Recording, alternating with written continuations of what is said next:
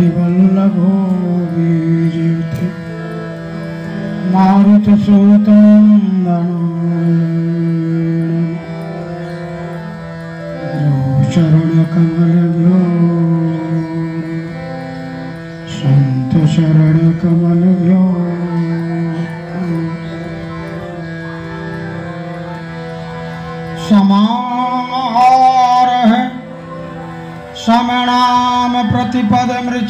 धाम धाम यजुषामलयः प्रत्युहुनां लहरी गीतोध जलधे कथाधर पक्ष भयत कथक कुल कोलाहल भवम हरत अंतर कथादरपक्षिभयत्। हय बदन ईशा हल हल हा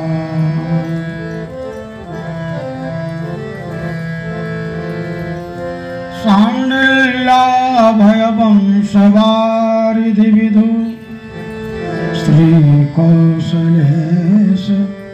आर्चकम् विश्वकशेणयतीन्द्रदेश पदद्वन्द्वारि निन्दाश्रितं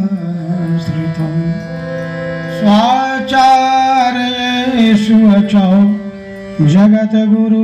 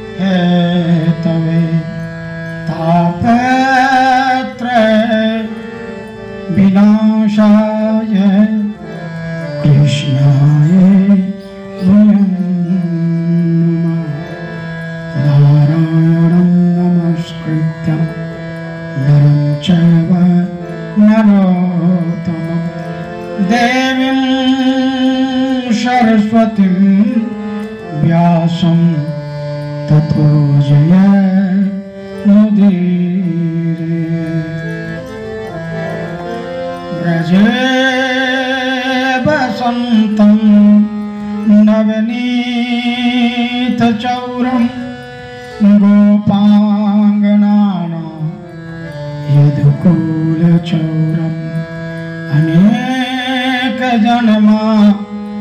अर्जित पाप चौरं चौराग्रगण्यं पुरुषं नमा। वासुदेवसुतदेवं कंसचाणूर मर्दनं। देवकी परमानन्दं। कृष्णं वंदे जगद्गुरो।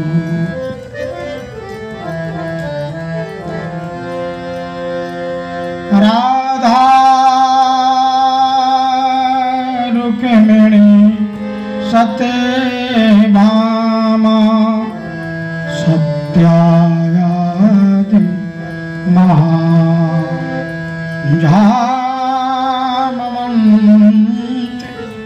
लक्ष्मणा सबको करत।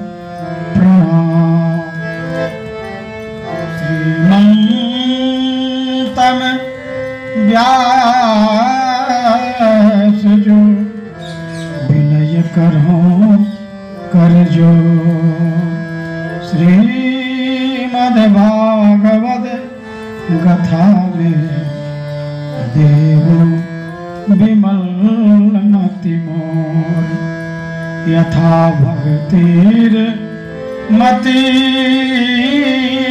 मम कथा करो अनुसार सुझ सुंदर आसन शुभ आए पवन कुमार। रे पवन पुत्र हनुमान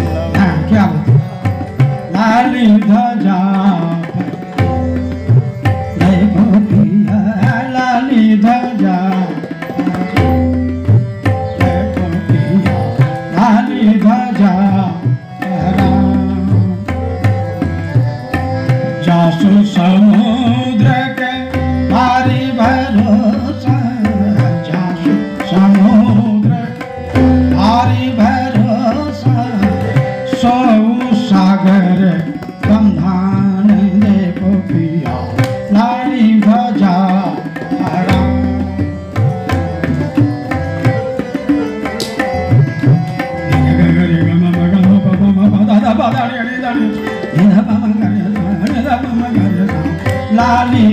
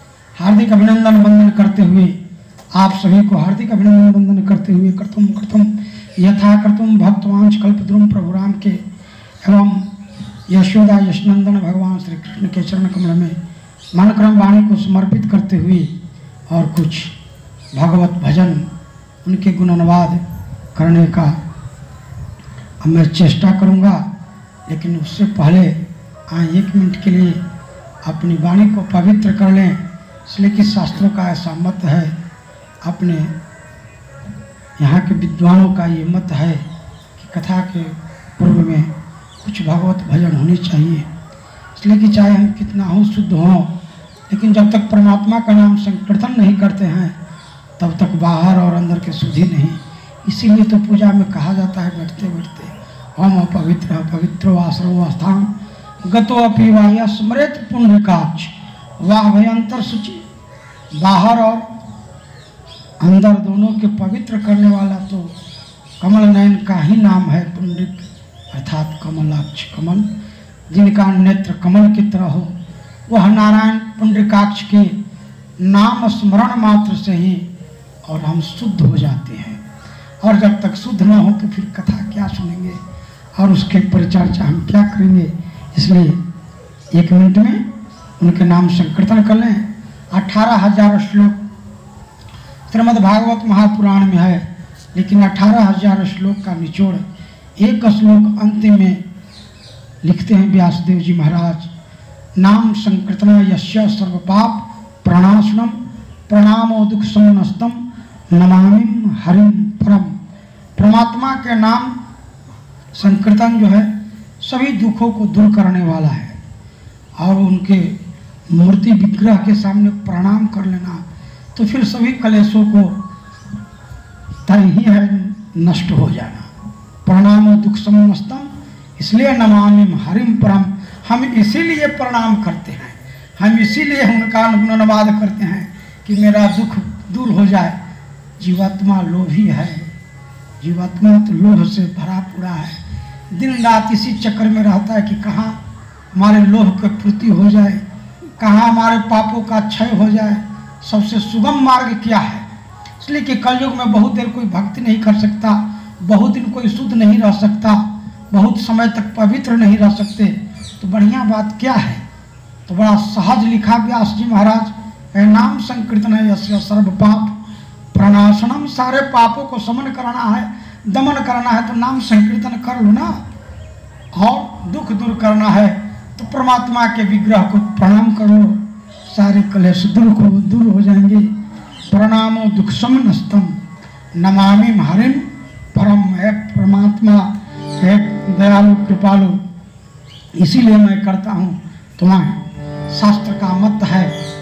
उस पर अवलोकन हम लोग को करना चाहिए। पर चलना चाहिए। आए, एक मिनट में परमात्मा के नाम से संकीर्तन करें, फिर आगे की कथा।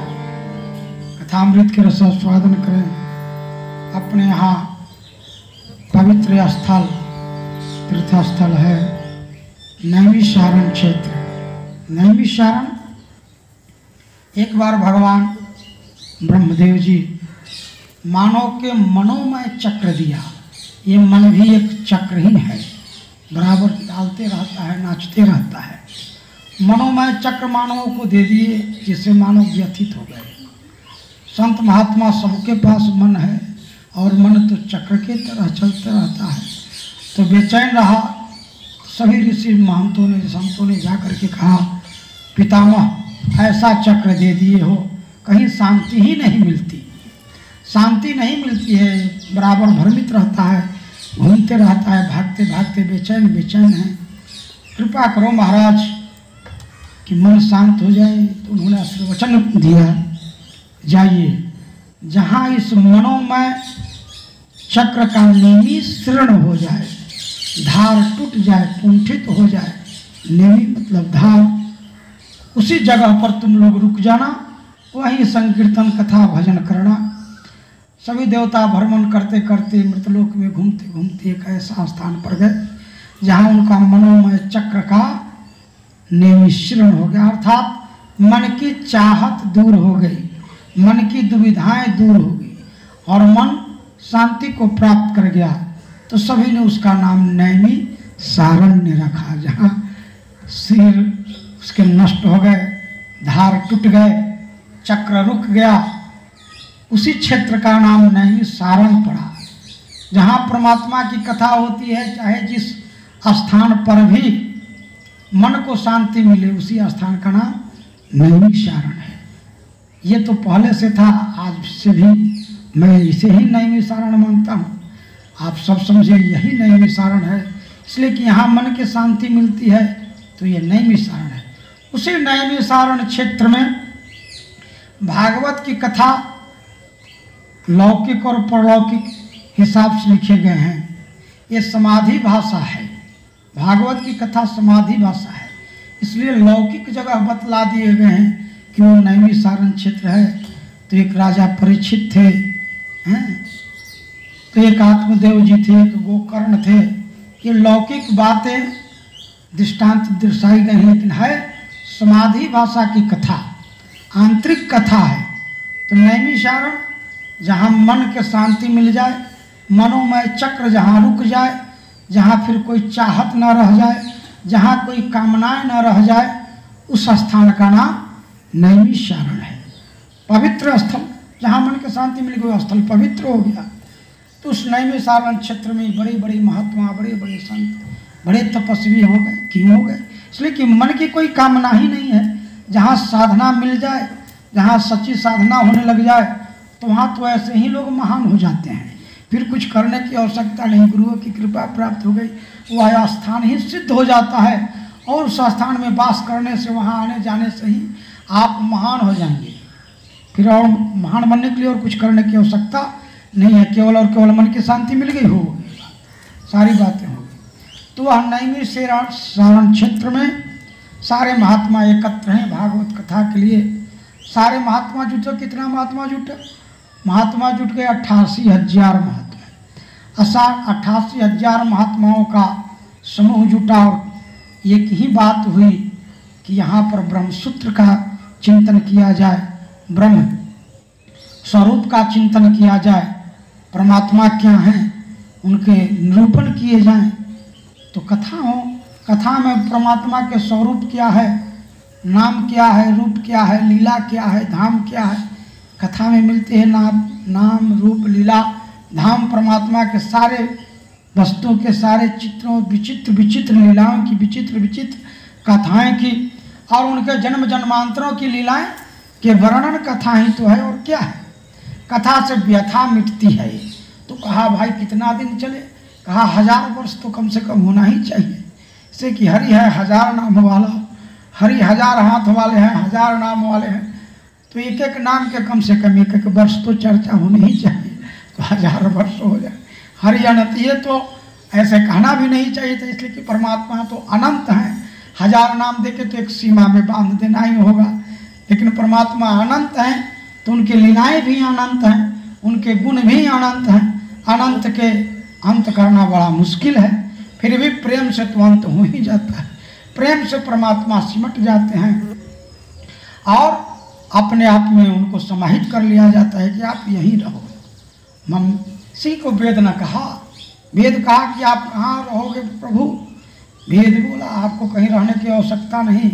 अम सहस्र शिरसा पुरुषा सहस्राक्ष सहस्रपात भूमिगोम एवं अतिष्ठा दशांगुलम नाभि काश से दस आंगुल ऊपर आप मेरे हृदय काश में ही प्रतिष्ठित हो जाओ, यही रह जाओ। जो हज़ारों सिर वाले हैं, सहस्र शीर्षा सहस्राक्ष, सहस्रपात, हज़ारों हाथ है, हज़ारों पैर हैं, हज़ारों मस्तक और हज़ारों नेत्र, वह हज़ार हज़ार रूप वाले परमात्मा को भक्तों ने कहा, वेद बोला पृथ्वाति अतिष्ठा दशांगुलम, हृदय काश से दस आंगुल ऊपर, आप मेरे ना- नाभि काश से दस आंगुल ऊपर हृदय काश में निवास करो। परमात्मा के बस तो ऐसा ही रहूँगा। यहीं रहूँगा। किसी में रहूँगा तो समाहित होकर बड़ी छोटे बन गए। हृदय काश में आ गए तो बड़े छोटे बन गए। इतने बड़े थे लेकिन हो गए छोटे। भक्ति के बस में, भक्ति में आकर के। इसी बात को रामचरितमानस में गोस्वामी तुलसीदास जी भी कहते हैं। पूछा लोगों ने राम जी से, कहाँ रहते हैं प्रभु? आप तो बड़े कठिन हो मिलोगे नहीं। कैसे पाएँगे? हाँ बड़ी आराम से पालोगे बड़ा सहज हूँ। हाँ।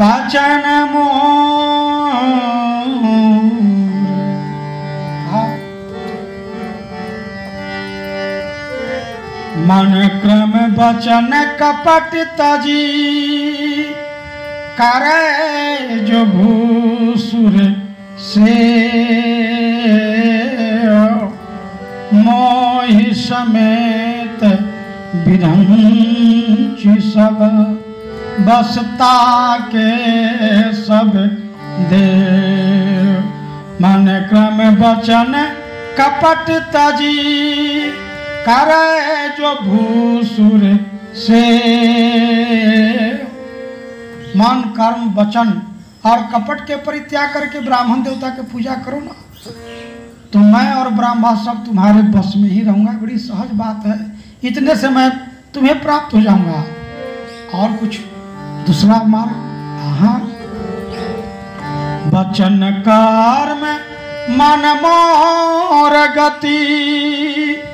भजन करो निष्काम। तिनके हृदय कमल महा करो सदा विश्राम। ये बस करने का है कि ब्राह्मणों की सेवा करो इससे मैं बस में हो जाऊँगा। और मेरा विश्राम चाहते हो तो मन क्रम वचन कपटता जी। नहीं मन कर्म वचन मेरे गति में हो जाए, हमारे चाल में तुम्हारी चाल मिल जाए तो फिर तो मैं तुम्हारे अंदर ही निवास कर जाऊँगा।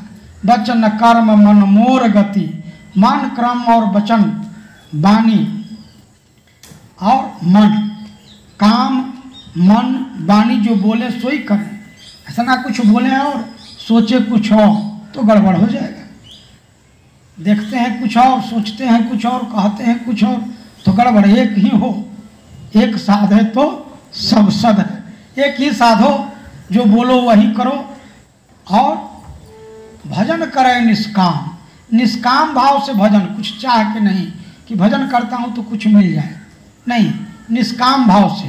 तो भजन करें निष्काम, तिनके हृदय कमल मह उसी का हृदय कमल के तरह होता है और करो सदा विश्राम। हम तो उसी के हृदय में रहते हैं। जिसका हृदय कमल के तरह हो जाए तो कैसे होगा? निष्काम भाव से, निष्काम भजन करने से कमल में हृदय हो जाए। कमल के तरह ही क्यों? इसलिए कि कमल निर्लेप है। जल में रह करके भी जल से बाहर है और उसको भिंगो भी दिया जाए जल में तो एक बूंद भी उस पर नहीं टिकते। तो हम संसार में रहें, लेकिन मेरे अंदर संसार न रहे। यही भाव हो। परमात्मा कहते हैं कि इस भाव से तुम्हारा हृदय कमल के तरह हो जाएगा, और फिर तो मैं कमल के आसन पर रहता ही हूँ। तो तेरे हृदय में रह लूँगा। तो मन स्वच्छ हो जाएँगे, साफ़ हो जाएँगे। तो इस तरह से नैमी सारंग क्षेत्र में संतों ने कहा, हज़ार वर्ष के लिए ब्रह्म सूत्र हो, ब्रह्म चिंतन किया जाए, ब्रह्म का अनुरूपण हो गया। कहा, भाई, इस समय तो किसी की मृत्यु भी हो सकती है। लंबा समय कहा, कोई बात नहीं ब्रह्मा जी से पूछ लो। ब्रह्मा जी कहे, पहले तो मृत्यु होगी नहीं, और यदि हो जाती है तो उसको मुक्ति प्राप्त होगी। ये तो परमात्मा के हाथ की बात है। परमात्मा कहते हैं, मृत्यु तो होगी ही नहीं, और यदि हो जाए तो मैं वचन देता हूँ उसको मैं मुक्ति धाम प्राप्त करा दूँगा। मुक्ति, छुटकारा हो गया, आवागमन से मुक्त हो गया। यही ना मुक्ति है, बंधन से मुक्त हो गया। अब फिर बंधन में आना जाना नहीं पड़ेगा। बहुत दुख है। पुनरअपि जननम, पुनरपि मरणम। जननी जठरम सैनम संसार का ये रोग है, यही भव रोग है। बार बार जन्म लेना बार बार मर जाना बार बार माता के गर्भ में जाना, बूढ़ा हो जाना, रोगी हो जाना, यही भव रोग है। इसी से संसार में आने से जीवात्मा डरता है, बड़ा दुख होगा। जन्मत मरत दुसह दुख होई। जन्म लेने से मरने में दुगना भाव है? तो बड़ा कष्ट है। तो भगवान कहते हैं कि मुक्त कर दूँगा। निवृत्ति, छुट्टी छुट्टी प्राप्त हो जाएँगे। जाओ। तो ब्रह्म सूत्र चलने लगा। ब्रह्म निरूपण होने लग गए। ब्रह्म के चर्चा होने लग गई। उसी में सौनक जी महाराज भी जुटे हुए हैं। और सौनक जी कथा सुन रहे हैं। सौनक अट्ठासी हज़ार महात्मा के नेतृत्व कर रहे हैं। उन्होंने कहा कथा तो बहुत सुन ली है, लेकिन कथा के सार नहीं सुने। कथा के सार कौन सुनाएगा? कहा सुत जी आए हुए हैं। चलो सुत जी से हम श्रवण कर लें। सुत जी के पास जा करके और सौनक जी महाराज, वही नैमी सारण में सभी संतों को छोड़ करके कुछ अवकाश निकाल करके और सुत जी के पास जाते हैं। सुत जी के चरणों में निवेदन करते हैं। अग्रणध्वविध्वंस कोटि सूर्य शं प्रभुतख्याहि कथासारम् मम कर्ण रसायणम् अज्ञान ध्वंत विध्वंस कोटि सूर्य संप्रभा। महाराज, गुरुदेव, आपका जो ज्ञान है, अज्ञान को नाश करने में करोड़ों सूर्य की तरह प्रकाशित है। आपके ज्ञान के प्रकाश से हमारे जन्मों जन्मों के अंधकार मिट जाएँगे पाप रूपी उल्लू जो मन में बैठे हैं, पाप रूप जो अंधकार बैठा है, ये सब दूर हो जाएँगे, हृदय प्रकाशित हो जाएगा। सुत ही कथा सारम सुत जी कहें, इतना बड़ा महत्व मुझे दे रहे हो, मामला क्या है भाई, क्या चाहते हो? कहा, कथा सारम कथा तो हो ही रही है, लेकिन मैं कथा के सार सुनने आया हूँ, मम करणम रसायणम हमारे कान में बड़ी पीड़ा है कान के पीड़ा दूर करने तो दवा तीन तरह के। एक गोली है, दूसरा चूर्ण है, तीसरा घोल है। उत्तरोत्तर एक दूसरे से, दूसरा आरामदायक है। गोली खाने में कुछ ज़्यादा कठिनाई है। चूर्ण उससे कुछ सुलभ है और घोल तो उससे भी सुलभ है। और कान में पीड़ा है तो घोल के ही हो सकता है। इसलिए प्रभु, मम करणा रसायनम, हमारे कर्ण प्रिय कथा आप श्रवण कराओ।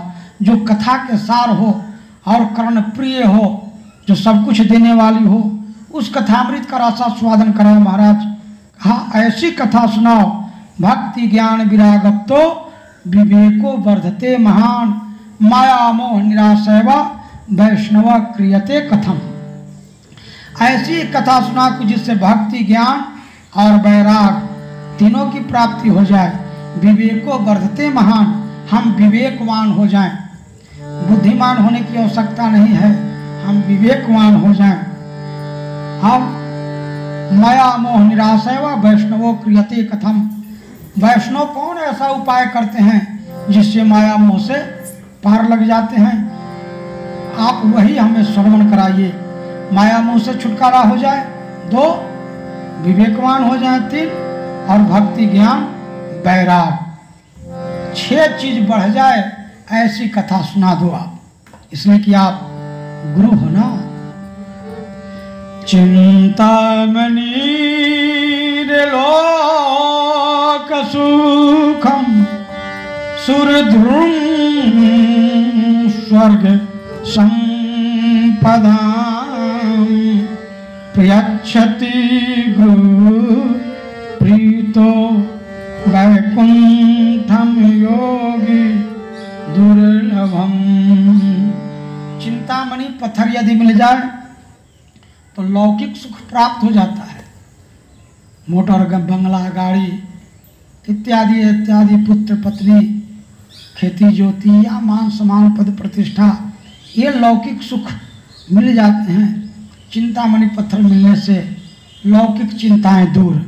सुद्रुम स्वर्ग संपदाम और स्वर्गीय वृक्ष, कल्प वृक्ष जिसे कहते हैं।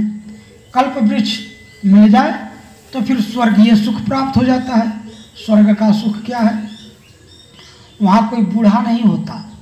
वहाँ किसी को थकान नहीं होती, कोई थकता नहीं और भूख प्यास भी नहीं लगती है। ये लौकिक नहीं, ये स्वर्गीय सुख है।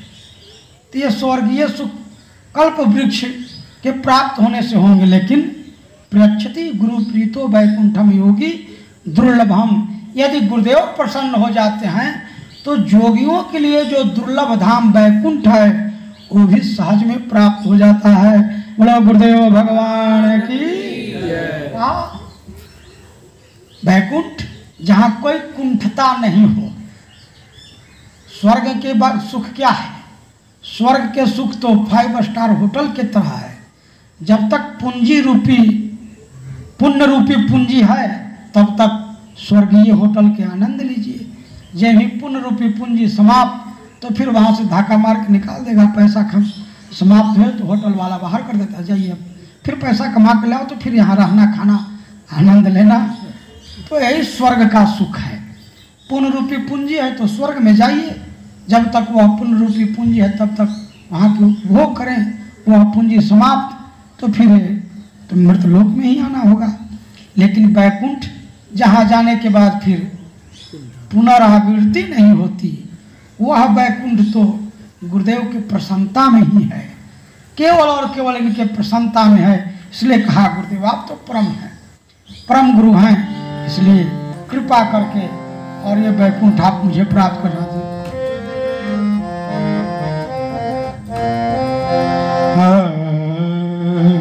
परम गुरु, राम मिला हाँ।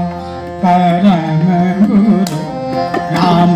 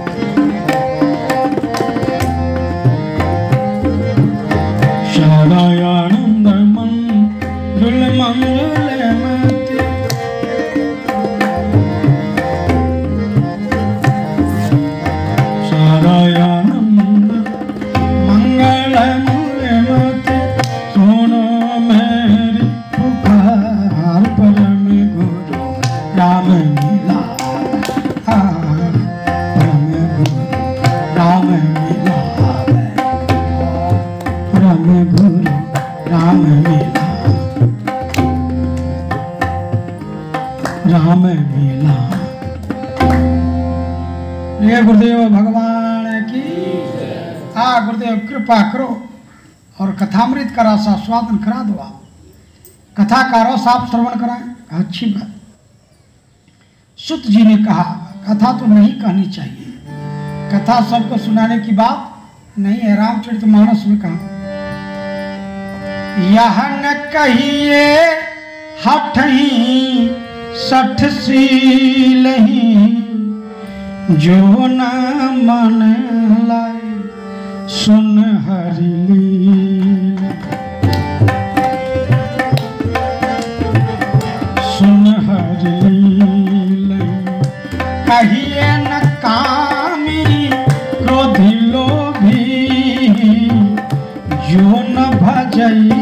सच राचर स्वामी जो भजई सच राचर स्वामी।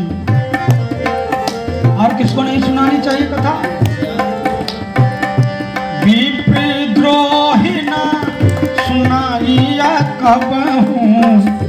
विप्रद्रोही न सुनाइया कब हूँ? इंद्र सरीस कोई नृप तब इंद्र सरीस कोई नृप तब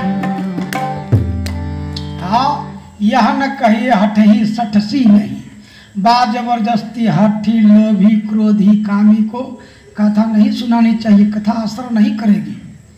यह न कहिए हठसी सठसी नहीं। जो न मन लाए सुन हरेली नहीं जो मन लगाकर भगवान के कथाओं की लीलाओं को नहीं सुनता, उसे ये कथा सुनाने से कुछ फ़ायदा होने वाली नहीं है। और किसे न सुनाइए? कहिए न क्रोधी कामी लोभी, जो न भजई सचराचर स्वामी, जो चर और अचर के नायक हैं, उनका जो भजन नहीं करता तो कामी क्रोधी लोभी को कथा मत सुनाओ। और किसे नहीं?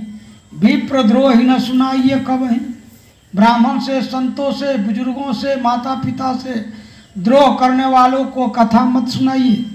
नहीं तो उसे कथा फ़ायदा नहीं करेगी।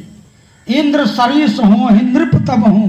साधारण राजा नहीं, यदि इंद्र के तरह भी धनवान है और ब्राह्मण द्रोही है माता पिता के द्रोही है, गुरु द्रोही है, संत द्रोही है, बुज़ुर्ग द्रोही है तो ऐसों को कथा मत सुनाओ। गड़बड़ हो जाएगी। तो कहा तो फिर किसको कथा सुनाए? कथा किसे सुनाई जाए? हाँ सुनाइए। राम कथा सोई अधिकारी,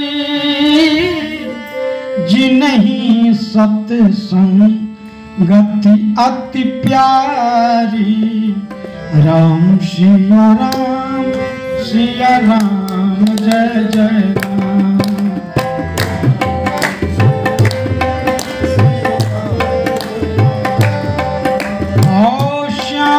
कथा।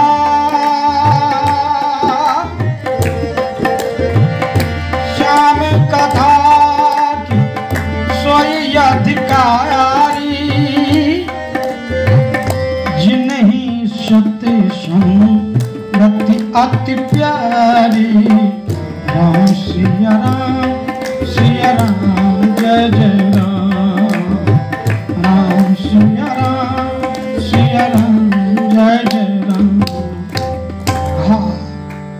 यही विचार कर रहे हैं। सुत जी महाराज कह रहे हैं, प्रीति शौनक वचनी विचार्य च। निष्पन्नम, संसार भयनाशनम भक्ति योग वरदानम यश्च कृष्ण संतोष हेतुकम। तदाहं ते दासी, सावधान त्र्या सुनो। प्रीति शौनक विचार हे शौनक जी, आपके प्रीति को देख करके और मैं विचार किया, बचने विचार आपके बचनों पर मैंने विचार किया कि इनको कथा सुना देनी चाहिए। ये लोभी क्रोधी क्रोधी नहीं हैं और ये सठ भी नहीं हैं। इनको कथा सुनानी चाहिए। इनके पूरे मंडल को कथा सुनानी चाहिए। तो मैं निश्चय किया सर्व सिद्धांत निष्पन्नम।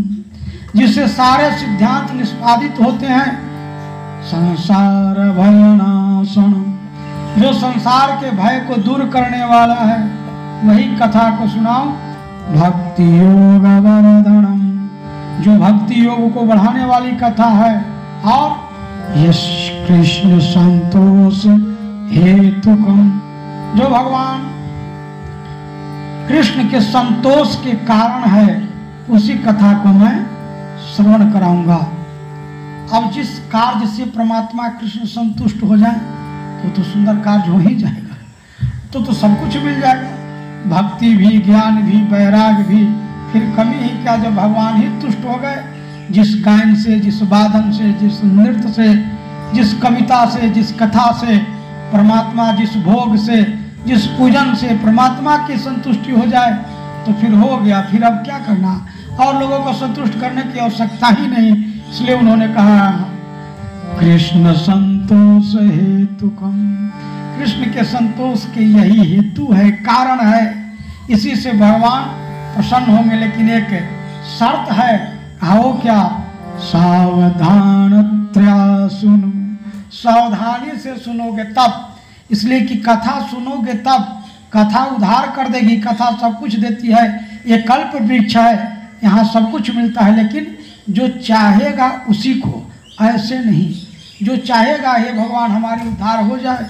हे परमात्मा, हमारी नैया पार लग जाए। हो जाएगा, और जो चाहेगा ही नहीं फिर उससे कथा कुछ देने वाली? नहीं है, इसलिए प्रथम श्लोक के, प्रथम स्कंद के प्रथम श्लोक उन्होंने निरूपण किया। सचिदानंद रूपाय गीता में अध्याय, भागवत में उसी का नाम स्कंद है। वाल्मीकि रामायण में उसी का नाम स्वर्ग है। प्रथम स्वर्ग द्वितीय स्वर्ग तृतीय स्वर्ग महाभारत में उसी का नाम पर्व है। शांति पर्व, द्रोण पर्व वन पर्व, है? भीष्म पर्व। और रामचरित मानस मानस में उसी का नाम कांड है। बाल कांड अयोध्या कांड आरण्य कांड स्किंधा कांड इसमें इसका नाम स्कंद रखा। बारह स्कंद है। बारह मतलब बारह अध्याय। बारह स्कंद, अठारह हज़ार श्लोक से परिपूर्ण।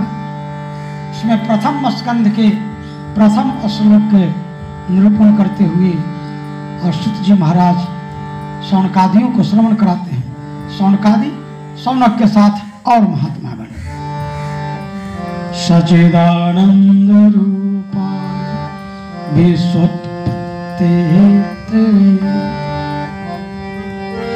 तापत्रय विनाशाय, कृष्णाय वयं नमः।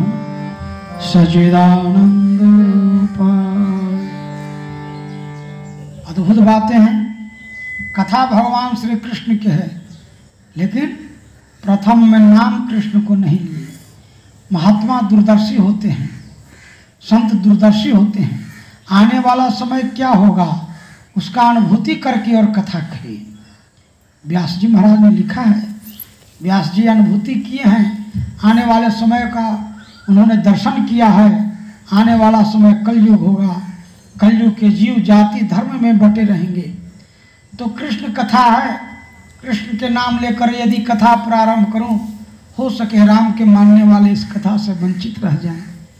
राम के नाम लेकर सुनो, कर, शुरू करूँ तो कृष्ण वाले वंचित रह जाएँ, देवी के नाम लें तो और लोग नारुष्ट हो जाएँ, वैष्णव के लिए तो शैव लोग नारुष्ट हो जाएँ शैव के लिए गणपत्य वाले नारुष्ट हो जाएँ, इसलिए किसी जो प्रचलित देवी देवता के नाम है, प्रचलित नामों को नहीं लेते हुए, उन्होंने वंदना किया सचिदानंद रूपाय सत जोड़ चित जोड़ आनंद तब हुआ। सचितानंद हम सचितानंद भगवान के नमन करते हुए उन्हीं के स्वरूप के चिंतन करते हुए और यह प्रेम शास्त्र के कथामृत का रसास्वादन करा रहा हूँ। महाभारत समाज शास्त्र है रामचरितमानस परिवार शास्त्र है और श्रीमद् भागवत महापुराण ये प्रेम शास्त्र है। इसका नाम भागवत है। भागवत का अर्थ ही होता है, जो भगवान के हो, उसका नाम भागवत है। जिसे देखते हुए भगवान याद पड़ जाए, उसका नाम भागवत है। जिसके श्रवण से परमात्मा के चरणों में प्रेम हो जाए, उसका नाम भागवत है। अर्थात जो सबको प्रिय हो जाए, उसका नाम भागवत है। बोलो, भागवत भगवान की जय। इसलिए उन्होंने कहा सचिदानंद रूपाय। सतचित आनंद, सचिदानंद सत्य की सता सर्वत्र है। और चित्त मौन है, आनंद अप्रकट है। आनंद प्रकट नहीं है, और चित्त मौन है सत्य की सता सर्वत्र है। सत्य सर्वत्र है। इसी बात को कहा, जब कंस कारागार में डाल दिया देवकी वासुदेव को तो बहुत बहुत देवी देवता अपने यहाँ हैं, लेकिन कोई छुड़ाने के लिए नहीं गया। लेकिन जब भगवान श्री कृष्ण अवतार ग्रहण करने का समय उनका हुआ, अवतार ग्रहण करना चाहते हैं, गगन मार्ग में सारे देवगण जा करके स्तुति करते हुए कहा, सत्यव्रतम सत्य परम त्रिसत्यम सतस्य योनि निहचम च सत्य। सत्यमृत सत्यनेत्रम सत्यात्मकाम त्वाम शरणम प्रपन्ना। हे परमात्मा सत्य व्रतम सत्य परम आप परम सत्य हैं, आप सत्य व्रत हैं, आप सत्य संकल्प हैं, आपके पाने का मार्ग भी सत्य है और सत्य मृतम अर्थात असत्य काल में भी आप सत्य हो सत्य मृतम सत्य नेत्रम असत्य काल में भी आप सत्य हैं।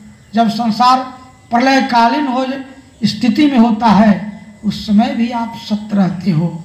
इसलिए सत्यात्मकाम त्वाम शरणम प्रपन्ना। प्रपन्न मतलब दास। मैं आपके चरणों का दास हूँ। आप सत्य हो। जो सत्य है, वही नारायण है। जो नारायण है, वही सत्य है। इसीलिए न सत्यनारायण भगवान की कथा है। बोलो सत्यनारायण भगवान की सत्यम शिवम सुंदरम। जो सत्य है वही शिव है और जो शिव है वही सुंदर है। जो सत्य है वही नारायण है और जो नारायण है वही सत्य है। इसलिए कहा सत्य व्रतम सत्य परम त्रिसत्यम योनिस महिचम च सत्य सत्य मृतम सत्य नेत्रम सत्यात्मकाम ताम शरणम। प्रपन्ना हम सत्य के शरण ग्रहण करते हैं। जब तक हम सत्य के शरण ग्रहण नहीं करेंगे, चरण ग्रहण नहीं करेंगे, तब तक हम सत्य नहीं हो सकते हैं। और तब तक आप सत्य में प्रविष्ट भी नहीं होंगे। जब तक सत्यनारायण की कृपा नहीं होगी, जब तक सत्यवादी नहीं होंगे, जब सत्य मार्गे नहीं होंगे, सद बचने नहीं होंगे तो फिर कैसे क्या होगा? इसलिए परमात्मा सत्य है तो कहा कि सत्य की साता सर्वत्र है। कण कण में वह व्याप्त है। इसीलिए उसका नाम विष्णु है। जो सर्वव्यापी है, उसका नाम विष्णु है। इसीलिए उसका नाम राम है। रमंती इति राम। जो सब में रमन करता हो, इसलिए उसका नाम राम है। इसीलिए उसका नाम कृष्ण है। कृष्णति इति कृष्णा। जो सभी को आकर्षित करे, उसका नाम कृष्ण है। इसलिए कि वह सत्य है। वह परम सत्य है। सत्यम परम धीम ही। तुम ही सत्य हो। तो सत्य की सत्ता सर्वत्र है और चित्त मौन है। आनंद अप्रकट है। जो अप्रकट को प्रकट करा दे, उसी का नाम भागवत है। बोलो, भागवत भगवान की जय। आनंद। आनंद यदि भोजन में होता तो हम कभी भोजन से उबते नहीं। खाते खाते कह देते हैं कि अब नहीं खाएँगे। मतलब अब आनंद समाप्त हो गया। भूख में आनंद। भूख थी तो खाए, भूख समाप्त। तो चाहे कैसा हो भोजन हो, अब खाने की इच्छा नहीं। कैसा हो सुंदर वस्त्र हो, फिर एक बार कहते हैं, अब इसको पहनेंगे नहीं। मतलब इसमें अब आनंद नहीं है। यही न है। भवन है, मकान है, दुकान है, गाड़ी, बंगला, मोटर, जितने लौकिक वस्तु हैं, इनमें यदि आनंद होता तो हम इनका परित्याग नहीं करते। चाहे पत्नी हो, चाहे पुत्र हो, चाहे कोई भी हो कैसा हो, रिश्ता हो? यदि इन रिश्ताओं में आनंद होता तो हम इनका परित्याग नहीं करते, लेकिन अंतोगत हम इनका परित्याग करते हैं। तब साबित हो जाता है कि इनमें आनंद नहीं है। तो कहा तैत्रीय उपनिषद कहता है, सभी साधनों से संपूर्ण, हर एक सुविधा से संपन्न, एक मानव का जितना आनंद प्राप्त होता है, उससे सौ गुना ज़्यादा आनंद राजा को मिलता है। और राजा से सौ गुना ज़्यादा आनंद पितृगण देवताओं को जो हमारे पितृगण हैं, पितृलोक में उनको है। पितृगण से सौ गुना ज़्यादा आनंद आर्जमा नामक पितरों को है और उनसे सौ गुना आनंद राक्षसों को, राक्षसों से सौ गुना ज़्यादा आनंद गंधर्वों को, गंधर्वों से सौ गुना ज़्यादा आनंद दानवों को है। दानवों से सौ गुना ज़्यादा आनंद, देवताओं को है। देवताओं से सौ गुना ज़्यादा आनंद इंद्र को है। इसलिए कि देवताओं के राजा है। और इंद्र से सौ गुना ज़्यादा आनंद बृहस्पति को है। देव गुरु है। तो गुरु जी को तो ज़्यादा आनंद है। और बृहस्पति से सौ गुना ज़्यादा आनंद ब्रह्मा को भी है। और ब्रह्मा से भी सौ गुना आनंद किसको है? हाँ आनंदो ब्रह्मेति व्यंजनात् आनंदादय खल विमानी भूतानि जायन्ते आनंदे न जातानि जीवन्ते आनंदम प्रथम भीषंतति ब्रह्मा से भी सौ गुना ज़्यादा आनंद, जो परमानंद, ब्रह्मानंद, और आनंदानंद, अखंडानंद, नित्यानंद में रमण करने वाला है, वैसे भक्तों को है, बोलो, भक्त बक्षल भगवान की परमात्मा थोड़ा थोड़ा आनंद सब कुछ में डाल दिए। परमात्मा थोड़ा थोड़ा आनंद सब कुछ में डाल दिए। कुछ फूल में, कुछ अन्न में, कुछ जल में, कुछ मिठान, मिष्ठान में, सब्ज़ी में, सब में थोड़ा थोड़ा आनंद दिए। जीवात्मा में भी थोड़ा आनंद दिए, इसलिए जीवात्मा जीवात्मा को पैदा करता है। जायंते आनंद न जीवानी, आनंद में ही जीवात्मा जीवात्मा को उत्पन्न करता है। आनंद से संसार में चलता फिरता है, कुछ कुछ में आनंद की अनुभूति, जहाँ आनंद की कुछ अनुभूति हो तो समझो वहाँ परमात्मा की थोड़ी सी कृपा है। चाहे जिस वस्तु में, लेकिन वो पूर्ण आनंद नहीं है। पूर्णानंद, अखंडानंद, नित्यानंद, हैं? ये आनंद तो तब मिलेंगे जब वो आनंदानंद के चरणों में हम लगते हैं। तो आनंदानंद के नंद के चरणों में जो लगता है, उसे आनंद की प्राप्ति होती है। आनंदो ब्रह्मणेति व्यंजनाथ आनंदाद्वय खल में मानी भूतानी जायंते न आनंदे। प्रंतन भीषण विषंतति आनंद है, आनंद की समाप्ति हो जाती है। परमात्मा आनंद घन है और हम जीवात्मा आनंद कण हैं। हम जीवात्मा आनंद कण हैं। पुष्प के, गुलाब के जो फूल हैं, उनके पंखुड़ियों में आनंद है, लेकिन एक एक पंखुड़ी बिखरा देंगे तो पुष्प समाप्त, गुलाब समाप्त हो जाएगा। समुद्र से हज़ार, दस हज़ार टैंकर भी जल निकाले तो फिर वहाँ से जल घटने वाला नहीं है, इसलिए कि वह जल राशि है और कुएँ के जल समाप्त हो जाएँगे छोटी छोटी नदियों का जल समाप्त हो जाएँगे, लेकिन सागर तो जल राशि है। सावन में भी उतने ही लहर, भादों में भी उतने ही तूफाने और जेठ में भी वही तूफाने इसलिए वह सागर है।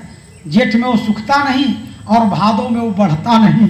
परमात्मा आनंद घन है और जीवात्मा आनंद कन है। इसलिए कहा, बोलो आनंद कंद भगवान की। भगवान आनंद, घन है आनंद। घन है और हम आनंद कन है।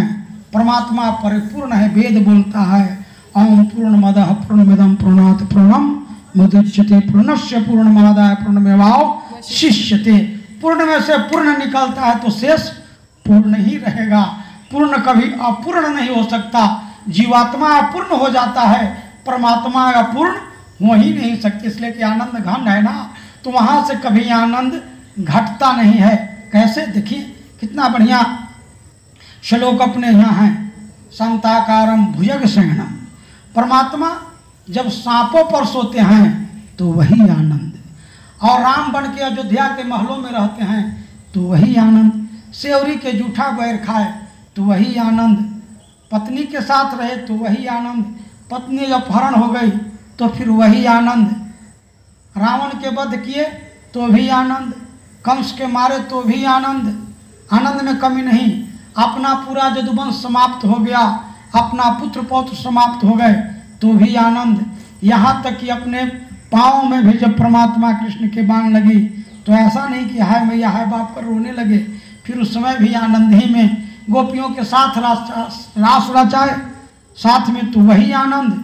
और अकेले तप में लगे हैं, योगाचार्य बने हैं तो वही आनंद। कंकड़ पर चलते हैं तो भी आनंद। और पुष्प पर चलते हैं, जनकपुर में तो पुष्प बिछाए गए हैं, महाराज जनक के महल से लेकर के गलियों में। तो उस पर भी चलने में वही आनंद है। और जाकर के केवट के यहाँ कुश के चटाई पर सोते हैं तो वही आनंद। दुख होता है, भक्तों को दुख होता है। रोने लग गए। राम जी को कुश के चटाई पर सोते हुए देख करके और रोने लग गए। निसार और कहने लगे कई कई नंदनी मंदमती काटिन कुटिल प्रण की ते सिए रघुनंदन, सुख अवसर बन दीन। कैक की बेटी कैकई मंद बुधनी है। मंद बुद्धि के है, कुटिल है, कठिन प्रण करके अभी तो राम जी को सुख के समय आया था और इसी समय वनवास भेज। दी इसी समय जंगल में भेज दी बड़ा कठिन दुख प्रण कर ली और बड़ा गड़बड़ की। सोवत प्रभु निस- निहारी निसाधु। भयउ शोक बस हृदय विषादु। रोने लग गए। तो लक्ष्मण जी कहते हैं, क्यों रो रहे हो भैया? क्यों रो रहे हो क्यों? कहा जिस समय प्रभु हमारे सोते होंगे अयोध्या के महल में तो कितना आनंद में रहते होंगे। आज कुश के चटाई पर सो रहे हैं। तो कहा, कोई बात नहीं, आप इनके साथ कभी रहे हो? कहा, नहीं, हम तो नहीं रहे हैं। लेकिन मैं इनका भक्त हूँ तो हम इनके हृदय की बात को जानते हैं। लक्ष्मण जी कहा, नहीं नहीं, मैं साथ में रहता हूँ, हम तो देख रहे हैं। अयोध्या के राजमहल में जैसे सोते थे, निश्चिंत होकर के, बेबाक होकर के, जितने आनंद में इस कुश के चटाई पर भी उतने आनंद से सो रहे हैं। अब रो रहे हो तो ये रोना तो तुम्हारे कर्म में लिखा है। इसलिए तुम रो रहे हो। राम के कर्मों में रोना नहीं लिखा है। इसलिए राम तो आराम से सो रहे हैं और तुम बैठ के रो रहे हो। तो रोना तुम्हारे कर्मों में रो मत। तो राम, परमात्मा कृष्ण में कभी आनंद की कमी नहीं। आनंद दो तरह की। एक साधन जन्य आनंद है और एक स्वयं सिद्ध आनंद है। साधन जन्य आनंद। जब तक साधन है तब तक आनंद है। गर्मी में एसी आज गाड़ी में चल रही थी। ये साधन जन्य आनंद है। और फिर उसके डीजल पेट्रोल समाप्त हो तो, तो गड़बड़ हो जाएगा। फिर गर्मी में रहना होगा। लेकिन स्वयं सिद्ध आनंद वैसे ही रहता है। एसी में जितने हमको आनंद मिला ठंडे के महसूस हुए ठंडकपन स्वयं सिद्ध आनंद वाले को वही ठंडक उस धूप में भी मिलता है। स्वयं सिद्ध आनंद सूखी रोटी में भी वही आनंद उसको प्राप्त होता है, जो एक रसगुल्ला खा करके आनंद ले रहा है। वो साधन जन्य आनंद, साधन से ही जब तक पैसा है, तब तक बड़े बड़े रसगुल्ले मिठाई खाए, और पैसा नहीं तो फिर आपको दुख होगा। साधन जन्य दुख, आनंद दुख के कारण है, और स्वयं सिद्ध आनंद सुख के कारण है। बोले, नारायण की जय। तो जो भागवत की कथा है स्वयं सिद्ध आनंद को प्राप्त कराने वाली कथा है। ये साधन जन्य आनंद इसमें नहीं है। संतों के पास स्वयं सिद्ध आनंद है। झोपड़ी में भी रखो तो वही आनंद, और महल में भी बैठा दो तो वही आनंद। ऐसा नहीं कि महल में उनका कुछ आनंद अलग हो जाएगा। नहीं, उनका दिनचर्या तो वही है चाहे जहाँ रख दो। अपने दिनचर्या में रहेंगे तो कहते हैं कि उनका स्वयं सिद्ध आनंद है। इसलिए आनंद तो अंदर की अनुभूति है। बाहर खोजने की आवश्यकता नहीं है। बाहर तो आनंद है ही नहीं। आनंद तो अंदर में है। तेरे अंदर ही आनंद बाहर कहाँ ढूंढे? तेरे अंदर ही आनंद बाहर कहाँ ढूंढे? मतलब ऐसे कहवा आनंद बाहर कहाँ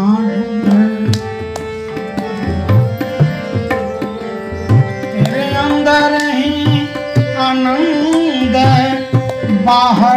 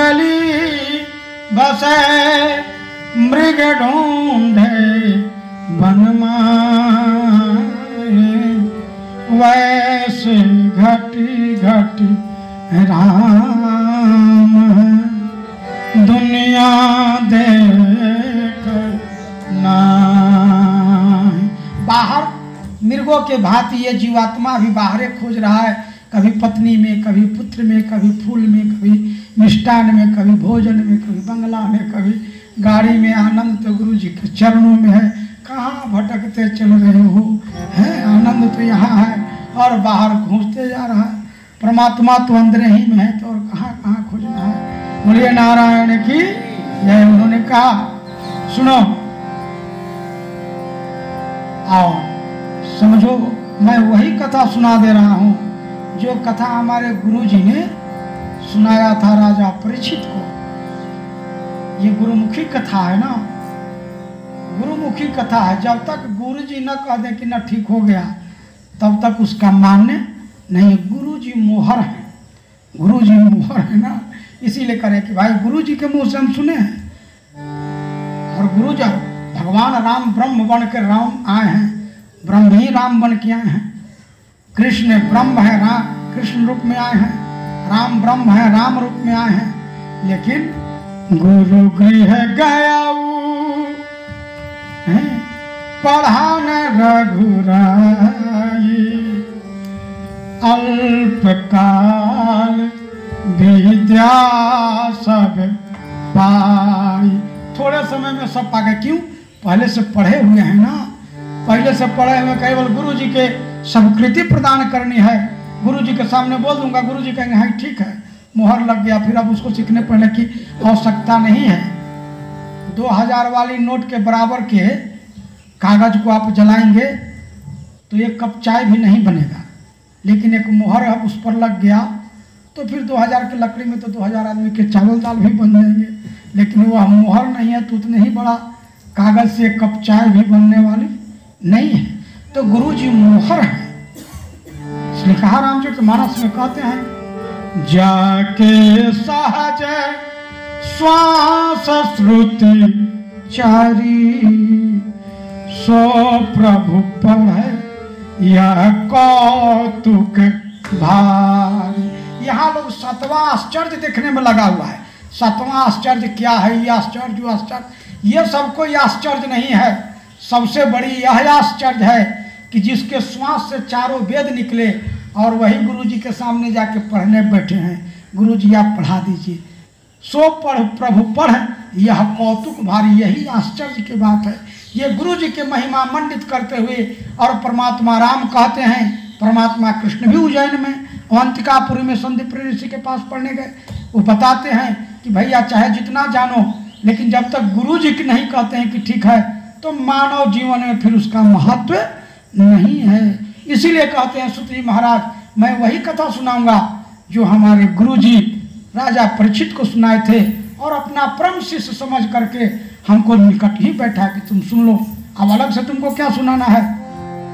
इसको मैं सुना रहा हूँ साथ साथ में तुम भी सुन लेना। जब सर्पदंश के श्राप लग गए थे, ब्राह्मण से द्रोह किए तो ब्राह्मण बच्चा कुपित होकर के और श्रापित किया। तो सर्प सर्प सर्पदंश से हमारी मृत्यु नहीं हो, और यदि मृत्यु हो तो हमारी सदगति हो जाए, दुर्गति नहीं हो। इसके लिए गंगा किनार पर श्रीमद् भागवत महापुराण की कथा को श्रवण कराते हैं। राजा परीक्षित को व्यास जी महाराज, सुखदेव जी महाराज तो सुखदेव जी के ही शिष्य हैं। सुत जी तो सुत जी कहते हैं। गुरुमुख से सुनी हुई कथा है। इसलिए इसमें कहीं कोई संदेह नहीं है। गुरु जी कहें तो फिर क्या? इसलिए मैं वहाँ कथा सुना हूँ। जब कथा की समाप्ति हुई तो देवता बड़े स्वार्थी हैं। देवता दे धातु से बना है। जो देने वाला है उसी का नाम देवता है। गुरु देवो भवा। गुरु जी ज्ञान देते हैं, इसलिए देवता है। देते हैं ना? कुछ देते हैं, इसलिए अतिथि सम्मान देते हैं, अतिथि को आप सम्मान कीजिएगा तो वो आपको जाकर सम्मान बढ़ाएगा कहीं कहीं घूम घूम के। इसमें अतिथि देवो भवा। माता पिता जन्मे दिए हैं तो मातृ पितृ देवो भवा।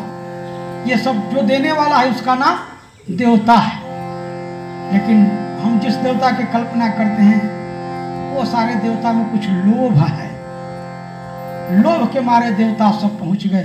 कहते हैं, सुत जी महाराज कि जहाँ गुरु जी कथा सुना रहे थे, वहीं देवता लोग आ गए और आकर के कहा, महाराज गुरु जी से कहते हैं, ये राजा परीक्षित तो मरने वाला है तो इसको अमृत क्यों न पिला दिया जाए? देवताओं के पास अमृत है ना? तो कहते इनको अमृत क्यों ना पिला दी जाए कि मरेंगे नहीं, जीवित रह जाएँगे? इनको अमृत पिला दीजिए। तो सुखदेव जी कहे, अमृत और बदले में देवताओं ने कहा, बदले में मुझे कथा सुना दीजिए।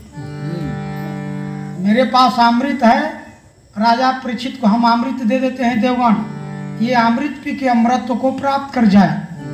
और बदले में आप मुझे कथा सुनाइए, इनको कथा से बाहर कीजिए। कहा, भाई, बात ऐसी है, अब सुनने वाला पर निर्भर करता है। ये कथामृत लेगा कि कलासामृत लेगा, क्या लेगा? कलासामृत पिएगा कि कथामृत पिएगा? अब तो राजा परीक्षित को निर्णय करना है। तो राजा परीक्षित कहते हैं, गुरुदेव, आप तो परम गुरु हैं। हम दोनों अमृत से अनभिज्ञ हैं। दोनों अमृत के बारे में मुझे पता नहीं। कथामृत क्या है? कलासामृत क्या है? दोनों अमृत में क्या गुण है? आप बताओ, तब हम निर्णय कर लेंगे। कहा सुनो भाई, ये जो कथामृत है, ये मुक्ति देने वाली है। ये परम ब्रह्म के धाम में पहुँचाने वाली है, स्वयं ब्रह्म बनाने वाली है। भगवान की जो कथा है ब्रह्म बना दी इसलिए तो कहा, व्यास जी लिखते हैं, नारायणम कृष्णम वंदे कृष्णम वंदे द्वय ब्रज प्रिय। कृष्णम द्वय पायण वंदे, कृष्णम वंदे पृथा सुतम। नारायण स्वयं कृष्ण है, कृष्ण नारायण है। और कृष्ण कथा लिखने वाले द्वैपायन भी नारायण हो गए, कृष्ण हो गए। कृष्णम द्वैपायन बंदे द्वैपायन व्यास जी को कहा गया। उनको में भी कृष्ण लग गया। कृष्ण के कथा लिखने वाला भी कृष्ण और कहने वाला भी कृष्ण, सुखदेव भी कृष्ण। और सुनने वाले अर्जुन प्रथा प्रथासुतम कृष्णम बंदे प्रथा प्रथासुतम गीता के ज्ञान अर्जुन सुनते हैं। तो सुनने वाला भी कृष्ण, कहने वाला भी कृष्ण, लिखने वाला भी कृष्ण। बोलो कृष्ण की जय। ये कृष्ण कथा है। जो सुन लिया वो कृष्ण ही हो जाता है। जो कहता है वो कृष्ण स्वरूप होता है। जो लिखा वो भी कृष्ण है। कृष्णम नारायण बंदे कृष्णम बंदे ब्रज प्रिय कृष्णम द्वय पायन बंदे कृष्णम बंदे पृथासुतम हम अर्जुन के भी वंदना करते हैं कृष्ण रूप में, हम व्यास देव के वंदना करते हैं कृष्ण रूप में, और स्वयं नारायण रूप में कृष्ण तो हैं ही हैं। इसलिए कहते हैं कि कथा अमृत जो है, इसको पीने वाला तो स्वयं ब्रह्म हो जाता है, कृष्ण हो जाता है, वो वंदनीय और पूजनीय हो जाता है। और जो कलशामृत है, ये तो कलश से पैदा हुआ है। और कलह से निकला है, देवता दानव दोनों मंथन किए हैं। ये बैमानी का धन है। और बैमानी के धन से कभी शांति नहीं मिलती है। अमृत तो मिल जाएगी। अमर तो आप हो जाओगे, लेकिन युद्ध से छुटकारा नहीं है। देवता दानव का संघर्ष कभी विराम नहीं हुआ। जब सुने तो जिस कथा में जाइए तो देवदानों का संग्राम जारी है। जाने क्यों? थोड़ा अमृत कि न बेमानी हुआ। अमृत निकला और लेके भाग गए। दानव और भगवान मोहनी बन के देवता को पिला दिए। हिस्सा तो मार लिए भाई के। दोनों भाई मेहनत बराबर किया था। एक भाई हिस्सा से वंचित रह गया। परिणाम आज भी उसकी झगड़ा जारी है। कभी भी देवता दानों का संग्राम में विराम नहीं हुआ तो कहते हैं सुत जी महाराज, ये भाई के बेमानी किया हुआ धन है। इसको पियोगे तो अमर तो हो जाओगे, लेकिन जीवन भर कलह से छुटकारा नहीं होगा। और कथामृत पान कर लो तो फिर कलह के तो नाम निशान नहीं जीवन में रह जाएँगे। तो कहते हैं राजा प्रेक्षित महाराज, अब हम धन लेकर क्या करेंगे, अमर होकर क्या करेंगे? हमको तो अब छुट्टी चाहिए। अब हमको संसार में सारे काम से निवृत्ति चाहिए। अब हम छुट्टी पाना चाहते हैं, बहुत दिन राज कर लिए, सब कुछ कर लिए छुट्टिए नहीं लिए थे। अब छुट्टी करा दीजिए। पुनरअपि मरणम पुनरअपि जननम अब ये नहीं हो बार बार जन्म न लें। बार बार माता के गर्भ में ना जाना पड़े। इसलिए आप कथामृतें सुना दीजिए। देवताओं को भक्तिहीन समझ करके, भक्ति सुन समझ करके और भरी सभा में सुत जी महाराज कहते हैं कि गुरु जी ने उपहास कर दिया। भरी सभा में देवताओं को उपहास हो गया और कहते हैं कि बदला बदली करने चले हैं। कथा से और अमृत के बदला बदली की बात कर रहे हो, इंद्र। तो बदला बदली तो होना चाहिए, लेकिन बराबर वाले से। लेकिन कथा और अमृत दोनों में बहुत अंतर है। कहा कितना अंतर है? तो कहा "क सुधा कथा लोके, क्वा कथा, क्वा मनीर महान। ब्रह्मरात विचार तदा देवाज हासहा। कहा, कहाँ कथा? और कहाँ अमृत? ये भगवान की जो कथा है, ये मनी है। और ये कलशामृत कांच है। चमक तो दोनों में है। चमक कांच में भी और मनी में भी, लेकिन कीमत अलग अलग है। तो भगवान की जो कथामृत है, ये मनी है। और कलशामृत जो है, ये कांच है। अब कांच के साथ कोई मनी के बदला बदली करे, ऐसा तो नहीं हो सकता है। भरी सभा में ठहाका लगा दिया सारे देवता लज्जित होकर भाग गए। इसी बात को लेकर के रामचरित मानस में गोस्वामी तुलसीदास जी लिखते हैं, और माता, पार्वती भी देवताओं से नारुष्ट होकर कहती है, ऊंच निवास, नीच कर देखन सकई, पराये विभूति। निवास तो आपके ऊँचे हैं, लेकिन करनी बड़ी छोटी है। मैं बड़ी नाराज़ हूँ, लेकिन क्या करूँ? तो तुम्हारा ही कार्य करना है। सारे देवता वहाँ से लज्जित होकर के भाग गए। बोलो, भागवत भगवान की जय। उन्होंने कथा, सुत जी महाराज कहते हैं, सोनक शरण, श्रवण कीजिए। एक दाही विशालम चतवार ऋषियो अमला सत्संगारते समायता यदृशुस्त्रम नारद। ये कथाएँ तो बड़ी पुरानी है, लेकिन नारद जी इस कथा को सुन लिए। नारद जी को विधि विधान बताया, कहा, कौन? एकदा ही विशाल्याम एक बार विशाल क्षेत्र में, अर्थात बद्री आश्रम में, वहाँ के राजा का नाम विशाल था। इतने धर्मज्ञ राजा थे कि नारायण अपने नाम के आगे उनका नाम जोड़ लिया। तो कहा कि ना पिछही हो जाए तो बद्री विशाल हुए। विशाल राजा। भगवान इतने भक्त थे, इतने धर्मप्रायण राजा, इसलिए नाम हो गया बद्री विशाल। भगवान अपना नाम उसके साथ जोड़ लिए। बोलो, बद्री विशाल, भगवान की एकदा ही विशाल्याम चतवार ऋषियों, अमला, निर्मल ऋषि, चार ऋषि। जिन्हें सनकादि कहा जाता है। सनक, सनंदन, सनत और सनत कुमार। ये चारों भाई ब्रह्मा जी के मानस पुत्र हैं। हैं दादाओं के भी दादा, लेकिन पंचवर्षीय बालक के रूप में रहते हैं। एक लंगौटी लगाए और हाथ में अपना कमंडलू लिए और उनमें एक अवगुण है। ये हाँ क्या अवगुण है? बस भगवान की कथा सुनने की। रामचरित मानस में भी इस बात को लिखा। अवगुण यह बसन यह नहीं, हरि चरित्र हो ही तहाँ सुनही। यही अवगुण है, यही व्यसन है कि हम भगवान की कथा सुने। जब कहीं कथा नहीं मिलती तो एक भाई कथा करते हैं और तीन भाई सुनते हैं। इससे साबित हो जाता है कि पृथ्वी पर एक दिन भी भगवान की कथा बंद नहीं होती है। जिस दिन कथा बंद हो जाएगी, उस दिन पृथ्वी रसातल में चली जाएगी। हम परमात्मा को प्रतिदिन प्रकट करवाते हैं जितने भी ठाकुर बारी हैं, प्रतिदिन उसमें होता है, भय प्रगट, कृपाला, दीन दयाला। संतों का ये मनोवृत्ति है, मनोभावना है कि हमारे भगवान प्रकट हो गए सुबह में। यही स्तुति होता है, भय प्रगट, कृपाला, दीन दयाला। हमारे परमात्मा प्रकट हो गए प्रकट हो गए। तो हम रोज परमात्मा को प्रकट करते हैं। तो नित्य दिन परमात्मा के निवास इस मृतलोक में होता है। तो कहते हैं कि सत्संगार्थम, सत्संग के लिए चारों भाई आज बद्री विशाल क्षेत्र में पहुँचे हुए हैं। एक भाई कथा कह रहे हैं और तीन भाई बैठ के सुन रहे हैं। नहीं तो कोई और कथा कहने लगा तो वहीं जाके सुन लेते हैं। कथा तो कथा है, चाहे कोई उच्च स्वर में बोले या नीच स्वर में बोले, कोई बहुत व्याख्या करे या कम व्याख्या करे, लेकिन कथा तो वही है। आधार तो परमात्मा ही है तो उनकी कथा को सुनते हैं। और गुरुमुखी कथा तो और भी सुंदर। वेद पुराण पढ़ा ही मन लाई, आप कहाँ ही अनुजही बुझाई।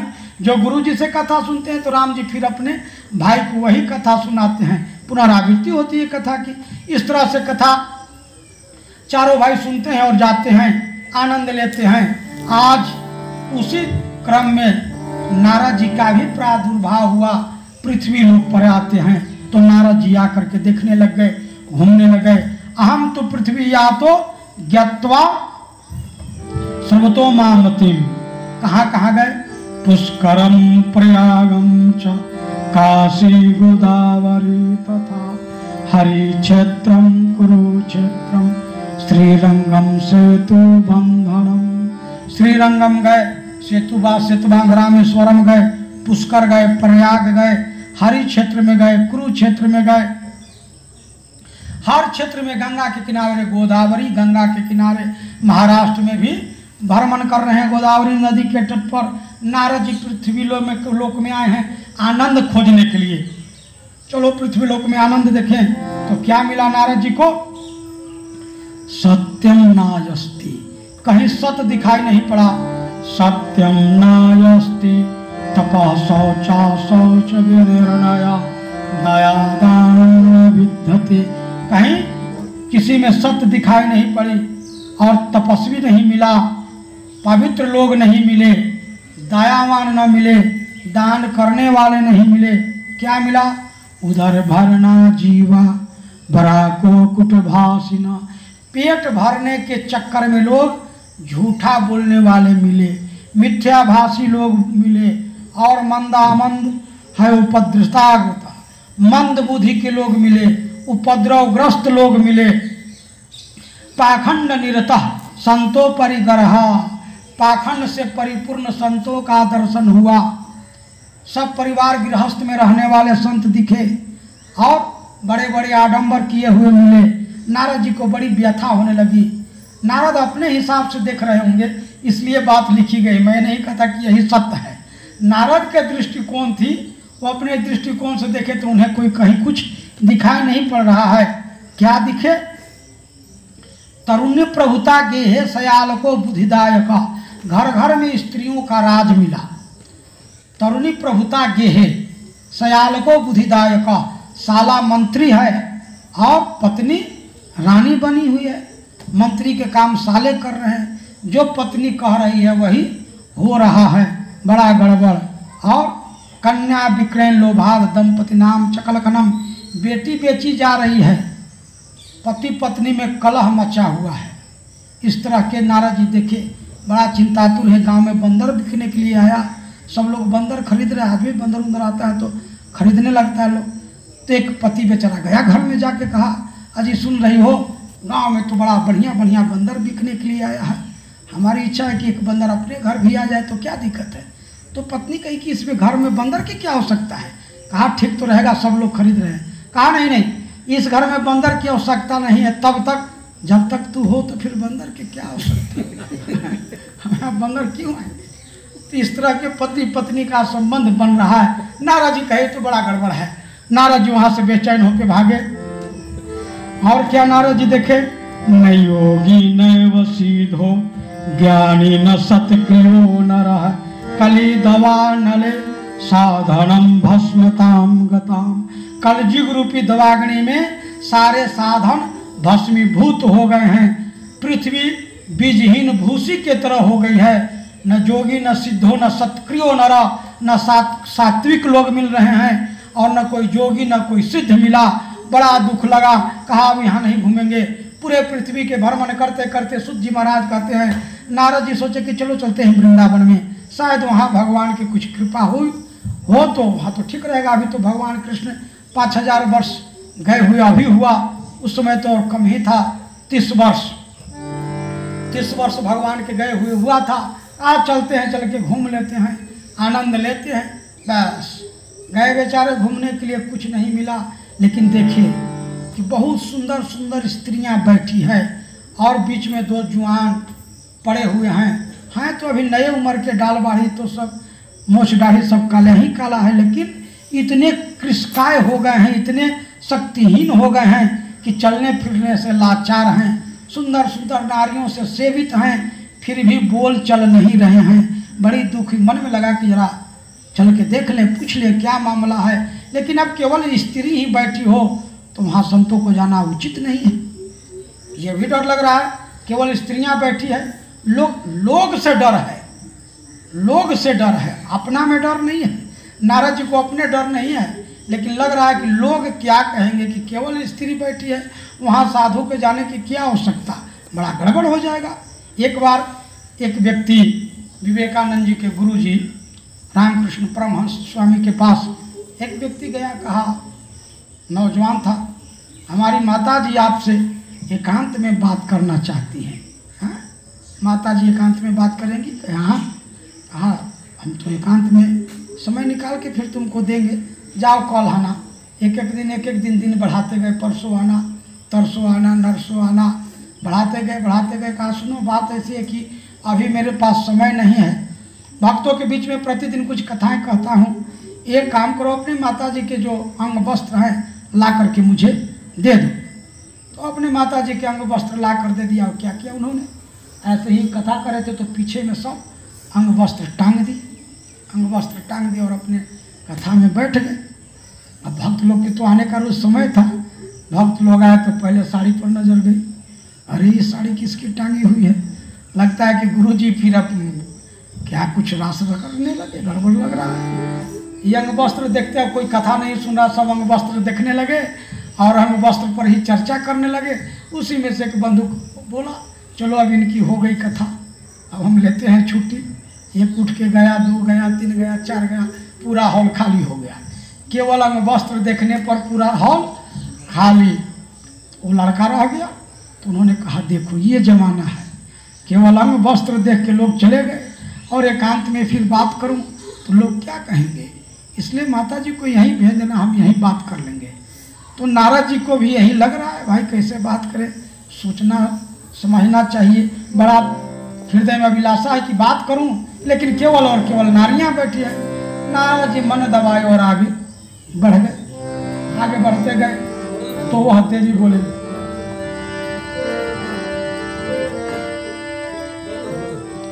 जब आगे नारद जी बढ़ गए तो देवी बोली उसमें से, भो भो, साधो, क्षणं तिष्ठ, मचिन्तामपि